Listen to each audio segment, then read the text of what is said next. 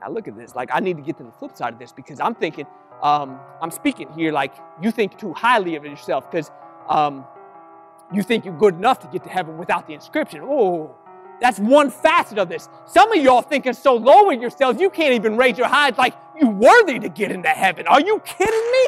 He died that you might have a way home. Rise up them standards, son. You ain't who you used to be. I know you did this, that, or the other, but that was then. This is now. He put his signature on you just the same. He said you worthy. He said you good. He said he still wanted you, validated you, and needed you. That's why he signed. I need you to own what he signed.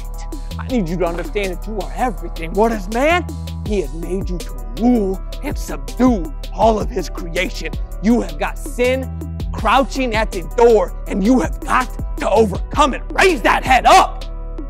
You are priceless. You are not worthless. You have the right to come into heaven because he signed you. No other way do you have that right, but you do got that right. So you walk like it. You start acting like it. You start talking like it. You start believing it, baby. Because it's true. Not because I say it's true. Not because some other preacher, evangelist, or prophet says it's true. It's because God says it's true. Because He set the standard and you have met it through the blood of Jesus. He sees you as everything, the head and not the tail. Don't you understand that He is dancing over you?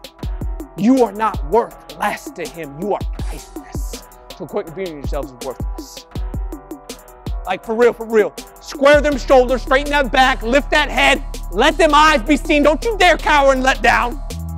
You are something brand new. You are a son of the Most High. Walk like it, baby. Believe it and dare to live like it because this world needs to see some son of gods come out and come out for good.